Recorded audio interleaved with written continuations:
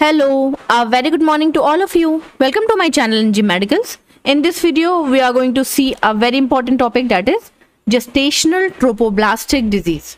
या आप इसे वैस्कुलर मोल भी बोल सकते हो और you can say that molar pregnancy और हाइड्रेटिफॉर्म मोल इसके बहुत सारे नेम्स हैं तो एग्ज़ाम में किसी भी नेम से ये आ सकता है फॉर टेन मार्क्स ओके तो सबसे पहले स्टार्ट करते हैं जेस्ट्रेशनल ट्रोफोब्लास्टिक डिज़ीज़ के बारे में तो the name itself telling the meaning सबसे पहले हम सभी को पता है कि जेस्टेशनल मीन्स होता है ड्यूरिंग प्रेगनेंसी वीक्स या ड्यूरिंग प्रेगनेंसी ट्रोफोब्लास्ट ये एक तरह के सेल्स होते हैं जो कि ब्लड सप्लाई प्रोवाइड करने में हेल्प करते हैं और बेबी और प्लासेंटा की ग्रोथ एंड डेवलपमेंट में हेल्प करते हैं।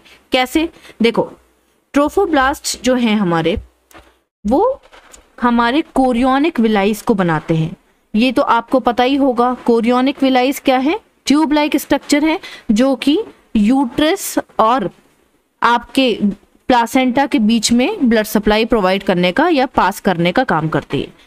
सिंसाइटियोट्रोफोब्लास्ट और साइटियोट्रोफोब्लास्ट दो तरह के होते हैं, ठीक है? यहाँ पे देख लो साइटियोट्रोफोब्लास्ट जो कि प्लासेंटा और आपके फीटस को बनाने का काम करेगा, और दूसरा है आपका सिंसाइटियोट्रोफोब्लास्ट यहाँ पे देख लो, ये मेनली आपको ब्लड सप्लाई प्रोवाइड करने में और कोरियोनिक विलाइज बनाने में हेल्प करेगा। आई थिंक आपको क्लियर हुआ होगा ट्रोफोब्लास्ट का मीनिंग क्या है। अब इसको डिज़ीज़ क्यों बोला गया है? सिंपल सी चीज़ है। ड्यूरिंग प्रेगनेंसी ट्रोफोब्लास्ट में कोई प्रॉब्लम आई होगी, जिसकी वजह से वो डिज़ीज़ में कन्वर्ट हो गया। That is gestational trophoblastic disease I think आपको क्लियर हुआ होगा। तो क्या डिज़ीज़ बन रही है? डिज़ीज़ ये बन रही है कि यहाँ पे बेबी और प्लासेंटा की जगह इस तरह के छोटे छोटे मोल्स बन रहे हैं। और ये मोल्स खाली नहीं है एम्प्टी नहीं है, इनके अंदर है फ्लूड ठीक है? इसीलिए इसको हम हाइड्रेटिफॉर्म मोल के नाम से भी जानते हैं, क्योंकि हाइड्रा मीन्स क्या होता है? हाइड्रा मीन्स होता है वाटर ऐसे मोल्स या ऐसे छोटे छोटे सिस्ट या छोटे छोटे बलून्स जिसके अंदर वाटर भरा हो दैट इज़ हाइड्रेटिफॉर्म मोल्स और इन्हें हम मोलर प्रेगनेंसी भी बोलते हैं क्योंकि इसके अंदर मोल्स बने हुए हैं। या वेसिकुलर मोल्स भी हम इसे बोल सकते हैं। तो इसके इतने सारे नाम हैं। आई थिंक आपको क्लियर हुआ होगा कि इसको हाइड्रेटिफॉर्म मोल्स या जेस्ट्रेशनल ट्रोफोब्लास्टिक डिज़ीज़ क्यों बोला गया है। नेक्स्ट देख लेते हैं इंट्रोडक्शन तो सबसे पहले, जैसा कि मैंने आपको बताया कि जेस्टेशन का मतलब ड्यूरिंग प्रेगनेंसी ट्रोफोब्लास्ट वो सेल्स होते हैं जो कि आपके प्रेगनेंसी में कोरियोनिक विलाइज बनाने का काम करते हैं, जिनकी हेल्प से प्लासेंटा और फीटस बनता है। ठीक है? डिज़ीज़ क्यों कहा गया है? कोई भी एबनॉर्मेलिटी जो कि ट्रोफोब्लास्ट में हो रही है, वो एक तरह से प्रॉब्लम क्रिएट क्या करेगी? वो प्लासेंटा और बेबी को नहीं बनने देगी और एक डिज़ीज़ का कॉज करेगी। ठीक है? इनको हम बहुत सारे नेम से जानते हैं vesicular mole hydatidiform mole molar pregnancy इसके अलावा अगर देखा जाए तो ये डिराइव्ड किससे हुआ है? ये एक ग्रीक और लैटिन वर्ड दोनों से डिराइव हुआ है। हाइड्रेटिस मीन्स होता है ड्रॉप्स ऑफ़ वाटर जैसा कि मैंने आपको बताया हाइड्रा मीन्स वाटर ठीक है? Hydatids means drops of water and molar या मोल्स मीन्स मास या स्मॉल सिस्ट ठीक है? वो सिस्ट जिसके अंदर फ्लूड भरा हो। इसके अलावा अगर देखा जाए तो ये बहुत रेयर केसेस में मिलता है। इस टाइप की प्रेगनेंसी बहुत रेयर होती है। और अगर होती है तो ये दो तरह से हो सकती है। एक कंप्लीट हाइड्रेटिफॉर्म मोल या मोलर प्रेगनेंसी या पार्शियल मोलर प्रेगनेंसी आप इसे इनकम्प्लीट भी बोल सकते हो। कंप्लीट एंड इनकम्प्लीट या कंप्लीट या पार्शियल अब सिंपल सी चीज़ है। नाम से ये पता चल रहा है कि भाई कंप्लीट का मतलब क्या होगा? कंप्लीट मोलर प्रेगनेंसी का मतलब ये होगा कि उसमें ना बेबी बना, ना ही प्लासेंटा बना। और दोनों की जगह पे इस तरह से मोल्स देखने को मिले। जब डिलीवरी होगी, जब निकाला जाएगा तो इस तरह से आपको फीटस और प्लासेंटा का लुक देखने को मिलेगा ओके और पार्शियल की अगर बात करो तो पार्शियल में या तो प्लासेंटा बना होगा, या तो नहीं बना होगा, या तो फीटस बना होगा, या तो नहीं। इसका मतलब यह है कि या तो प्लासेंटा बना होगा थोड़ा बहुत, या तो फीटस बना होगा थोड़ा बहुत। लेकिन वो डेड प्लासेंटा या डेड फीटस ही कहलाएगा, क्योंकि प्लासेंटा भी ठीक से कंप्लीटली नहीं बन पाएगा और फीटस भी ठीक से कंप्लीटली नहीं बन पाएगा। ये है आपके complete and partial molar pregnancy okay now we are going to see the definition so chorionic villi मैं आपको दिखा देती हूँ। मैंने आपको बताया ट्रोफोब्लास्ट सेल्स कोरियोनिक विलाइज भी बनाते हैं और प्लासेंटा और फीटस को बनाने का भी काम करते हैं। ये है आपके पतले पतले कोरियोनिक विलाइज ये छोटे ट्यूब लाइक स्ट्रक्चर्स होते हैं जो कि ट्रोफोप्लास्ट के थ्रू बनते हैं। ठीक है। डेफिनेशन हमारी क्या कहती है?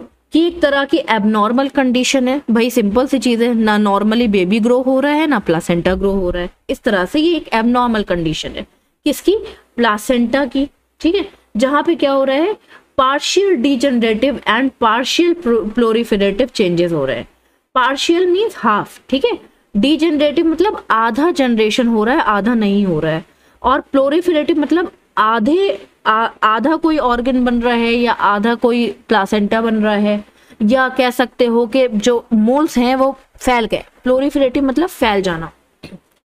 And changes in uh chorionic villi आपके कोरियोनिक विलाइज में चेंजेस हो रहे हैं कोरियो कोरियोनिक विलाइज ठीक से नहीं बन रहे हैं। जिसका एक ही रिज़ल्ट निकलेगा। क्या रिज़ल्ट निकलेगा?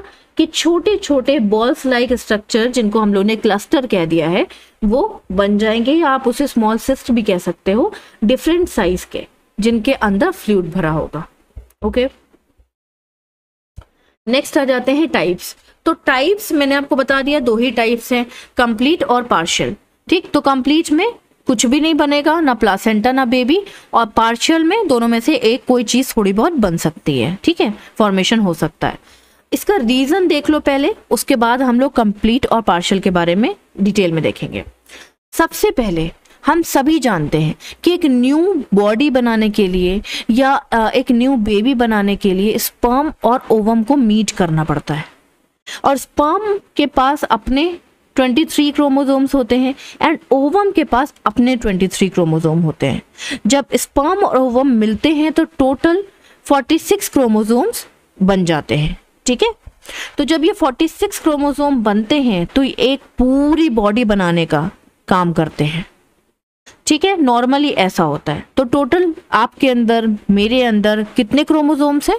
46 क्रोमोसोम है। 23 पेयर है। ठीक है? डेट इज़ 46 टोटल क्रोमोसोम्स हैं हम लोग के अंदर। Okay okay. अगर कंप्लीट मोलर प्रेगनेंसी की बात की जाए तो इसमें प्रॉब्लम क्या हो रही है? इसमें प्रॉब्लम ये हो रही है कि जो ओवम है, उसके पास एक भी क्रोमोसोम नहीं है, लेकिन स्पर्म के पास नॉर्मल 23 क्रोमोसोम्स हैं। अब जब ये ओवम और स्पर्म मीट करेंगे फ्यूज करेंगे तो स्पर्म को 23 क्रोमोसोम्स चाहिए, ठीक है? जो कि ओवम के पास नहीं है। बट ये स्पर्म क्या करेगा? 23 क्रोमोजोम उसको कहीं से भी लाने हैं तो वो अपनी ही एक कॉपी बना लेगा।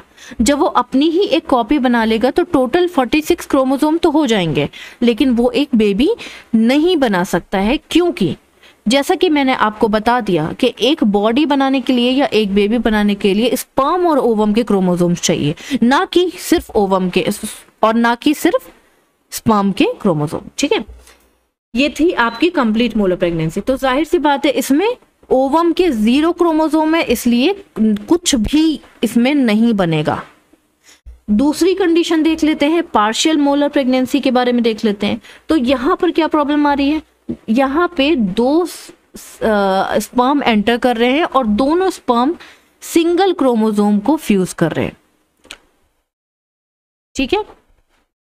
अब आप सोच रहे होगे कि ऐसे तो मल्टीपल प्रेगनेंसी हो जानी चाहिए। मोलर प्रेगनेंसी क्यों हो रही है? तो ऐसे में मल्टीपल प्रेगनेंसी हो सकती है। लेकिन अगर कोरियोनिक विलाय ही ठीक से नहीं बने हैं तो वो आपका मोलर प्रेगनेंसी करवा देंगे। क्योंकि chorionic villi blood supply provide करने में हेल्प करते हैं। ठीक है? जो कि नहीं मिल रही है इस टाइम पे। ओके ठीक है तो यहाँ पे अब कितने टोटल हो गए? एक स्पर्म के ट्वेंटी सॉरी हाँ एक स्पर्म के ट्वेंटी थ्री क्रोमोसोम हो गए। दूसरे स्पर्म के 23 क्रोमोसोम हो गए और ओवम के पास भी अपने 23 क्रोमोसोम हो गए। तो टोटल 49 सॉरी 69 क्रोमोसोम्स हो गए। तो अब यहाँ पे कुछ ना कुछ तो बनेगा क्योंकि स्पर्म और ओवम के क्रोमोसोम मिल रहे हैं फ्यूज हो रहे हैं, ठीक? और बॉडी बनाने के लिए ट्राई कर रहे हैं एटलीस्ट ये लोग ट्राई कर रहे हैं। तो जब ये ट्राई कर रहे हैं तो ये आधी ही बॉडी बना पाएँगे, या तो फीटस की या तो प्लासेंटा की, बस। इसके अलावा आगे ये प्रोग्रेस नहीं कर पाएँगे। इसीलिए इसको हम पार्शियल मोलर प्रेगनेंसी कहते हैं। अब देख लेते हैं दोनों के डिफरेंस आई थिंक इतना तो क्लियर हुआ होगा। डिफरेंस आप अपने आप ही समझ सकते हो। सबसे पहले पार्शियल का मतलब ही होता है हाफ़ ठीक है? तो यहाँ पे हाफ़ कोई चीज़ बनेगी और हाफ़ आपके मोल्स बनेंगे। ओके? कंप्लीट के मीनिंग होता है फुल तो यहाँ पे कंप्लीट मोल्स बनेंगे और कुछ भी नहीं बनेगा। ठीक है? रेयरली सीन ज़्यादातर चांसेस आपके कंप्लीट मोलर प्रेगनेंसी के होते हैं। पहली चीज़ तो बहुत रेयर है ये मोलर प्रेगनेंसी जल्दी किसी को होती नहीं है। और अगर होती है तो सबसे ज़्यादा आपको कंप्लीट के केस देखने को मिलेंगे। नेक्स्ट है occurs due to the fusion of two sperm and one ovum जैसा कि मैंने आपको पहले ही बता दिया कि पार्शियल में दो स्पर्म एंटर कर जाते हैं और एक ही ओवम के अंदर। ठीक लेकिन कंप्लीट में एक स्पर्म होता है और एक ओवम होता है। तीसरी चीज़ नंबर ऑफ़ क्रोमोसोम्स इसके टोटल कितने होते हैं? 69 क्योंकि यहाँ पे दो स्पर्म के 23 23 हो गए और एक ओवम के 23 हो गए। ठीक है? तो टोटल मिला के 69 और यहाँ पे सिर्फ़ आपके स्पर्म के पास आ, वो है 23 है और उसने अपनी एक कॉपी बना ली तो आपके टोटल हो गया 46 ठीक है? ओवम के पास यहाँ पे अपने 23 क्रोमोसोम होते हैं लेकिन कंप्लीट में ओवम के पास नल क्रोमोसोम होते हैं। सो so, ये मैंने आपको डायग्राम के थ्रू समझा ही दिया है। आगे चलते हैं। नेक्स्ट इटियोलॉजी या कॉज की बात करें तो अभी तक रिसर्च पता नहीं कर पाई है कि एग्जैक्टली exactly प्रॉब्लम है क्या या एग्जैक्ट कॉज इसका क्या है। तो कॉज आपका इडियोपैथिक है। Idiopathic means unknown unknown cause है। आप इडियोपैथिक की जगह अननोन भी लिख सकते हो। रिस्क फैक्टर्स की बात करें, कुछ कुछ कुछ कुछ चीज़ें पता चली हैं थोड़ी बहुत रिसर्च के थ्रू कि ये भी प्रॉब्लम ये भी हो सकता है, वो भी हो सकता है। तो रिस्क फैक्टर्स की बात करें तो एज लेस देन 15 ईयर या मोर देन 40 ईयर्स वाले लोगों को ये प्रॉब्लम आ सकती है। क्यों? दोनों ही कंडीशन में, चाहे लेस देन 15 ईयर हो, चाहे मोर देन 40 ईयर हो हार्मोनल डिसबैलेंस होने के चांसेस बढ़ जाते हैं। भाई 40 ईयर्स के बाद आपकी बॉडी मतलब इतना ज़्यादा एक्टिव नहीं रहती है कि वो प्रॉपर हार्मोन्स को रिलीज़ कर पाए, ये भी प्रॉब्लम आ सकती है। और लेस देन 15 ईयर्स में क्या प्रॉब्लम आ सकती है? कि अभी प्रॉपरली मेच्योर नहीं हुई है कोई भी फीमेल कि वो एक बेबी पैदा कर पाए, ठीक है? इसके अलावा प्रीवियस हिस्ट्री हो सकती है मोल्स की। अगर प्रीवियसली ये कंडीशन आई होगी, सेम पर्सन को या सेम वुमेन को तो हो सकता है कि नेक्स्ट प्रेगनेंसी में भी सेम रिस्क फैक्टर वो हो गया हो, रिपीट हो गया हो। नेक्स्ट है प्रीवियस मिसकैरेज। तो इससे पहले मिसकैरेज की वजह से, देखो, पहले तो जब हमें अबॉर्ट कराना पड़ता है किसी चीज़ को, या मिसकैरेज हो जाता है तो उसके बाद जो टैबलेट्स मेडिसिन चलती हैं, वो थोड़ा सा हार्मोनल डिस्टर्बेंस कर, करा देती हैं, ठीक? तो मिसकैरेज आपके या एबॉर्शन आपके कई तरह के हो सकते हैं सर्जिकल भी हो सकता है मेडिकल भी हो सकता है, ठीक?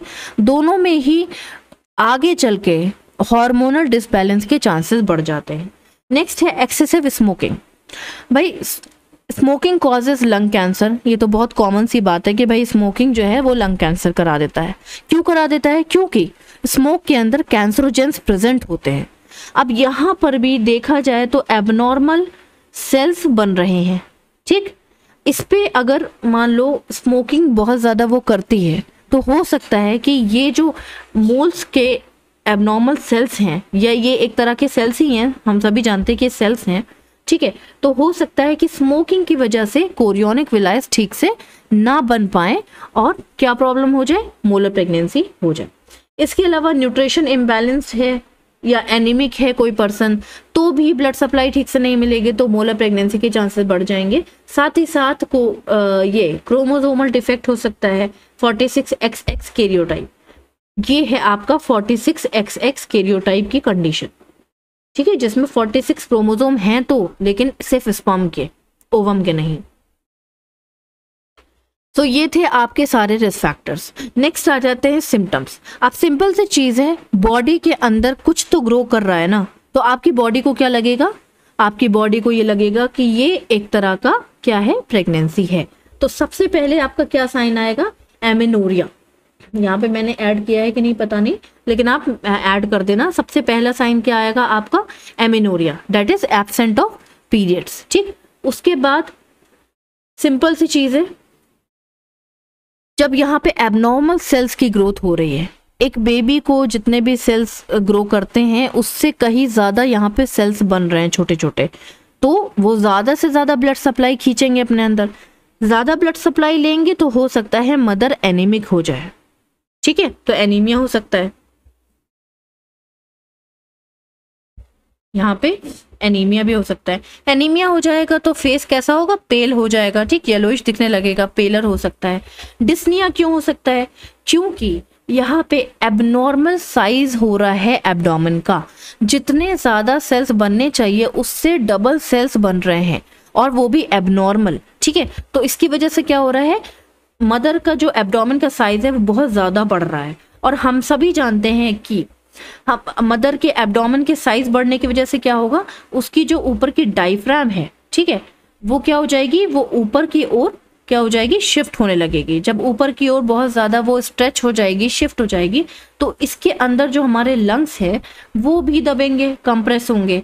तो जब लंग्स कंप्रेस होंगे लंग्स दबेंगे और वो अच्छे से एयर को अंदर फिल नहीं कर पाएँगे तो ब्रीदिंग डिफिकल्टी होगी। डेट इज़ योर डिस्निया इसके अलावा ब्लड प्रेशर बढ़ सकता है। क्यों बढ़ सकता है? क्योंकि लंग्स के पास होता है आपका हार्ट ठीक है?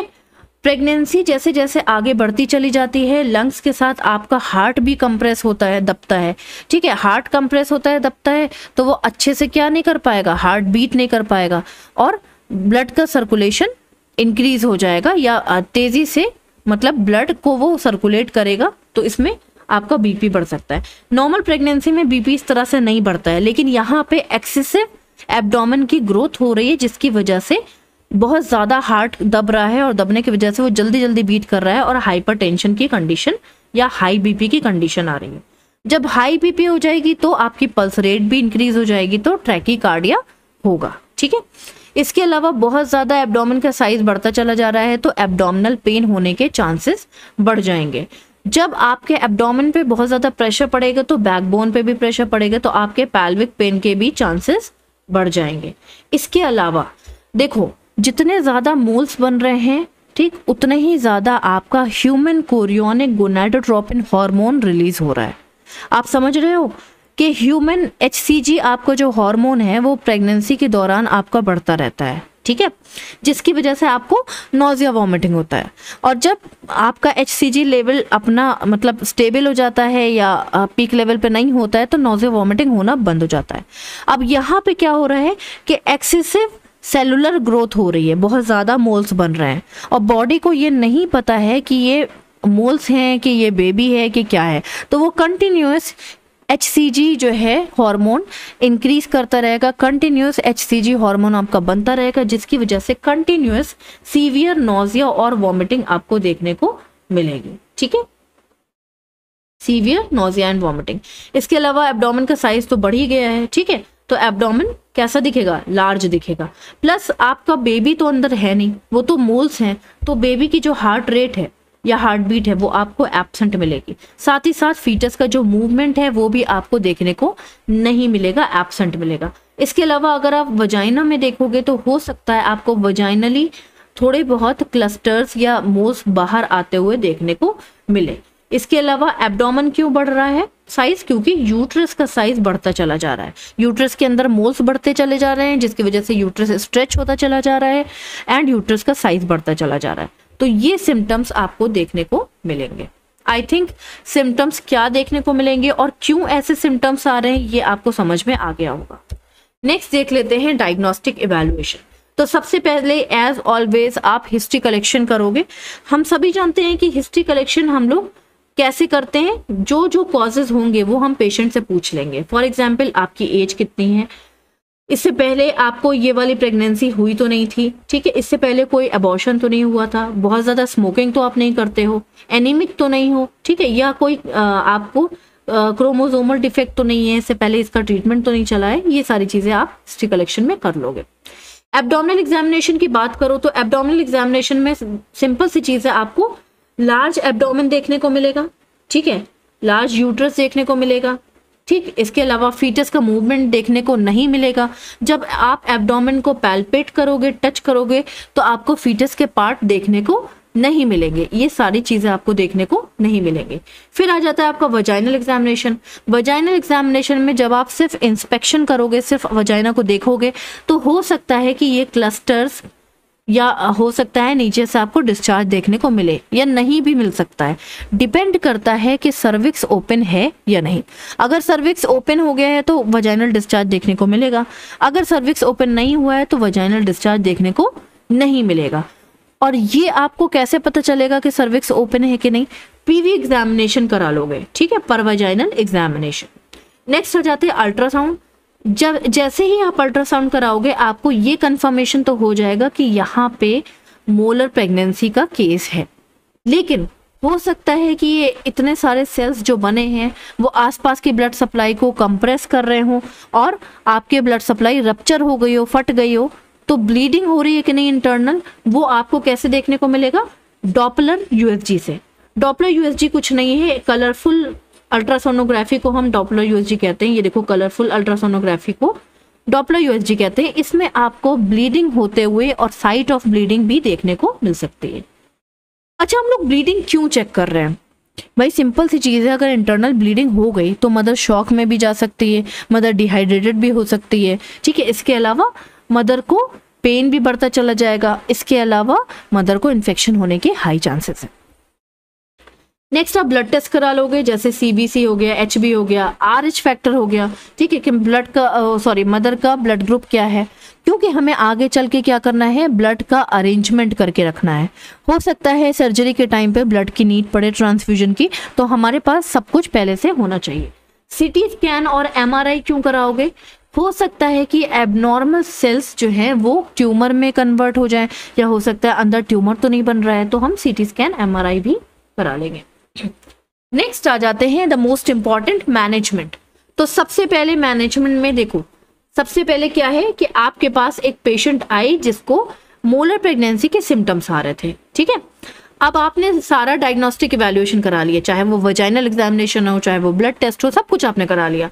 चाहे वो पर वजाइनल एग्जामिनेशन हो। तो इससे आपको दो चीज़ें पता चलेंगी। एक सर्विक्स ओपन है या उसका सर्विक्स ओपन नहीं है क्लोज्ड है। मान लो उस पेशेंट का सर्विक्स ओपन हो चुका है तो आपको कुछ नहीं करना है, इन चीज़ों को कलेक्ट करके रखना है। एक तो ब्लड ट्रांसफ्यूजन के लिए ब्लड दूसरा आईवी जो आपको आईवी देना है, जैसे आरएल आप दोगे, वो आपको रखना है अपने पास। इसके अलावा एंटीबायोटिक थेरेपी के लिए पेनिसिलिन टैबलेट आप अपने पास रख सकते हो, ठीक? अब आपका मेन मोटिव क्या है? मेन मोटिव ये है कि आपको जो मोल्स हैं, उनको डिलीवर कराना है, बाहर निकालना है, चाहे जैसे भी कराओ। क्यों निकालना है? क्योंकि वो ना कि, ना ही वो बेबी है और ना ही वो प्रेगनेंसी कंटिन्यू आप रखवा सकते हो। उसको आपको निकालना ही है।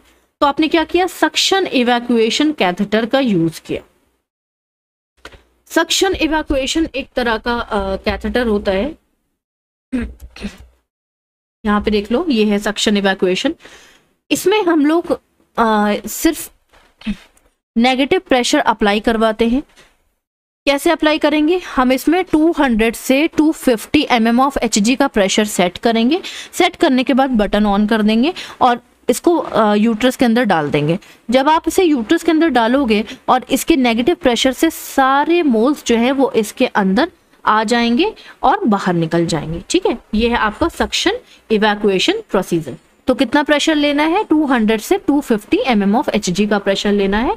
साथ ही साथ अंडर दी जनरल एनेस्थीसिया आपको ये काम करना है। क्यों? क्योंकि इसमें आपको पेन होगा या पेशेंट को पेन होगा, ठीक है? इसके अलावा आईवी ड्रिप लगा दोगे, जिससे कि एक्सेसिव फ्लूड निकल जाएगा तो डिहाइड्रेशन ना हो जाए मदर को, या मदर की कह सकते हैं कि फ्लूड वॉल्यूम डेफिसिट ना हो जाए तो आपको R L five hundred M L I drip में लगा देना है। इसके अलावा जितना भी आपने रिमूव किया है, मान लो उसमें से कुछ बच गए मोल्स ठीक? तो वो आगे चल के क्या कर सकते हैं? पीपीएच कर सकते हैं। तो इसके लिए आपको ओवम फॉरसेप यूज़ करना है और बचे हुए मोल्स को ओवम फॉरसेप से बाहर निकाल देना है। एंड एट लास्ट आपको 0.5 point five M G I M Methergine दे देनी है ताकि आप ब्लीडिंग को कंट्रोल कर पाए। ओके?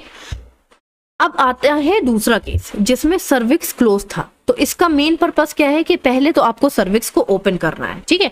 तो सर्विक्स को ओपन करने के लिए आप इस तरह का एक लेमिना लेमिनरी आप ये कह सकते हो, टेंट होता है, इसके वायर्स होते हैं, इसको आप सर्विक्स के अंदर डालोगे, ये सर्विक्स को ओपन करने का काम करता है with the help of the forcep ठीक है? ये आपने इंसर्ट किया, साथ ही साथ एक टैबलेट आप अंदर डालोगे, कौन सी टैबलेट मीजोप्रोस्टॉल जो कि 400 माइक्रोग्राम्स की है, ठीक? कहाँ डालोगे? वजाइना के अंदर। यहाँ पे लिख लेना पर वजाइनली वजाइना के अंदर आप इसे डाल दोगे। इन दोनों से क्या होगा कि सर्विक्स दो से तीन घंटे में ओपन हो जाएगा। जैसे ही सर्विक्स आपका ओपन हो गया, आपको पूरा सेम प्रोसीजर फॉलो करना है। कौन कौन सा same procedure? Suction evacuation follow करना है, ड्रिप लगानी है, ठीक है? ये सारी चीज़ें आपको फॉलो कर देना है। अगर मान लो ये सारी चीज़ें फेल हो गई और फिर भी आप डिलीवर नहीं करा पाए नॉर्मली मोल्स को तो आपको एट लास्ट सिजेरियन सेक्शन करा लेना है। ठीक है? सिजेरियन सेक्शन करके आपको कंप्लीटली मोल्स को बाहर निकाल देना है। और मान लो, आप बहुत ज़्यादा लेट हो गए हो और इन्फेक्शन के चांसेस बढ़ गए हैं या इन्फेक्शन होने लगा है तो आप यूट्रस का रिमूवल भी करा सकते हो। डेट इज़ हिस्टेक्टमी तो सिंपल सी चीज़ हम लोगों ने कुछ नहीं किया है। मैनेजमेंट में एक पेशेंट आई मोलर प्रेगनेंसी के साथ डायग्नोस्टिक वैल्यूएशन देख करके आपको पता चल गया सर्विक्स ओपन है या नहीं ओपन है। सर्विक्स ओपन है तो आपने ये सारी चीज़ें अरेंज करने के बाद सक्शन इवैक्यूएशन स्टार्ट कर दिया, ठीक है? अंडर दी जनरल एनेस्थीसिया कितना प्रेशर होना चाहिए? 200 से 250 फिफ्टी एम ऑफ़ एच ठीक? फिर आपको आईवी ड्रिप भी लगा देनी है आर एल फाइव क्यों? ताकि फ्लूड और इलेक्ट्रोलाइट इम्बेलेंस ना हो। सक्शन इवैक्यूएशन को कंप्लीट होने के बाद आपको एक बार ओम फॉरसेप से भी देख लेना है कि कोई मोल्स अंदर रह ना गया हो। ठीक है? एंड एट लास्ट आपको मिथाचिन दे देनी है जिससे कि ब्लड का जो आ, वो है लॉस है वो ना हो। ठीक? सेम चीज़ इसमें भी आपको करनी है लेकिन पहले आपको सर्विक्स को ओपन करना पड़ेगा। तो इसके लिए ये सारी चीज़ें आप इसमें भी अरेंज करके रखोगे। सिर्फ़ आपको लेमिनर इंसर्ट करके रखना है और आपको मीजोप्रोस्टॉल इंसर्ट करके रखना है। इन दोनों से आपका सर्विक्स ओपन हो जाएगा और सेम प्रोसीजर आपको फॉलो कर लेना मान लो ये सारी चीज़ें फेल हो जाती हैं तो सिजेरियन सेक्शन करके डिलीवरी आप करा सकते हो। नेक्स्ट आ जाता है नर्सिंग मैनेजमेंट तो नर्सिंग मैनेजमेंट में सबसे पहले वाइटल साइन चेक कर लोगे एज ऑलवेज ठीक है? उसके बाद आपको क्या करना है? वजाइना एग्जामिनेशन करते रहना है, जिससे कि आपको पता चलता रहेगा कि पीपीएच तो नहीं हो रहा है पेशेंट को। पेरिनियल केयर प्रोवाइड करनी है, ठीक है? This is under the hygienic care इसके अलावा आपको सर जो सर्जरी अगर हुई है तो उसके वोंड को क्लीन करके रखना है, ताकि इन्फेक्शन ना हो। हेल्थ एजुकेशन दे देनी है हाइजीन मेंटेन करके रखनी है पेशेंट को, चाहे वो डिस्चार्ज ही क्यों ना हो गया हो। मेडिकल मैनेजमेंट फॉलो करते रहना है, जब तक फिजिशियन ने कहा है, ठीक है? हेल्दी डाइट लेनी है, ताकि एनीमिया अगर है तो वो रिसॉल्व हो जाए। इसके अलावा एजुकेट करना है फॉलो अप केयर यानी कि जितनी बार डॉक्टर ने आपको बुलाया है, उतनी बार आपको डॉक्टर को विज़िट करना है। लास्ट आ जाते हैं आपका नर्सिंग डायग्नोसिस तो पेन हो रहा होगा, चाहे सर्जरी हुई है, चाहे नहीं हुई है। तो acute pain related to the contraction as evidence by the facial expression ठीक है? फ्लूड वॉल्यूम डेफिसिट होने के हाई चांसेस हैं क्योंकि यहाँ पे बहुत सारे मोल्स को बाहर निकाला गया है फ्लूड लॉस हो सकता है। Fluid volume deficit related to the expulsion of the moles as evidence by vaginal examination activity intolerance होगा क्योंकि अगर वजाइना से कोई लिक्विड बाहर आ रहा है तो वो काम नहीं कर पाएगी। तो activity intolerance related to the vaginal discharge कैसे पता चला? As evidence by patient verbalization patient बताएगा कि भाई वजाइनल डिस्चार्ज हो रहा है इसलिए मैं कोई काम नहीं कर पा रही हूँ, ठीक? नेक्स्ट है आपका disturb sleeping pattern related to the abdominal pain कैसे पता चला? पेशेंट रात में सोया ही नहीं। Awaking of the patient at night इसके अलावा एंजाइटी तो होगी ही। क्यों होगी? क्योंकि सर्जरी होने वाली है, इसलिए एंजाइटी होगी या सक्शन इवैक्यूएशन के लिए भी उसको एंजाइटी हो सकती है। कैसे पता चला? पेशेंट वर्बल कंसेंट पेशेंट खुद बता रहा है। ठीक है नेक्स्ट है आपका रिस्क ऑफ़ इन्फेक्शन बहुत हाई चांसेस है, क्योंकि ब्लड लॉस हो रहा है। ठीक, कैसे पता चला? पेशेंट की इम्यूनिटी ऑलरेडी वीक है। हो सकता है पेशेंट एनीमिक हो। ठीक डिस्टर्ब कोपिंग पैटर्न भाई पेशेंट कोप अप क्यों कर पाएगा? जब उसको बार बार मोलर प्रेगनेंसी होगी या बार बार अबॉर्ट करना पड़ेगा। कैसे पता चल रहा है? फेशियल एक्सप्रेशन से। एंड लास्ट है knowledge deficit related to the hospitalization as evidence by patient questioning prevention के लिए आप अर्ली डिटेक्शन कर सकते हो और एंटीनेटल विजिट्स के लिए पेशेंट को बता सकते हो कि अर्ली डिटेक्शन करेगी। मतलब बार बार उसको हर छः महीने पे पूरी होल बॉडी चेक कराना है ताकि कोई भी नॉर्मेलिटी पता चल जाए पहले से ही। इसके अलावा वो एंटीनेटल विजिट्स पे आएगी ताकि डॉक्टर से मिलती रहे और कोई भी प्रॉब्लम डिटेक्ट हो जाए जल्द से जल्द। अगर ये सब नहीं होता है तो बहुत सारे कॉम्प्लिकेशन आ सकते हैं। फॉर एग्ज़ाम्पल पेशेंट को शॉक हो सकता है। कौन सा शॉक हाइपोवॉल्यूमिक शॉक क्योंकि फ्लूड लॉस हो रहा है। इसके अलावा यूरिन सॉरी यूट्राइन इन्फेक्शन हो सकता है। इसके अलावा पीपीएच हो सकता है। परमानेंट इनफर्टिलिटी uh, हो सकती है। क्यों? क्योंकि बार बार एबॉर्शन हो रहा है। सेप्टिसीमिया या सेप्सिस हो सकता है एट लास्ट डेथ हो सकती है. So this is all about the molar pregnancy if you are having any doubt please ask me in comment box till then bye bye take and have a nice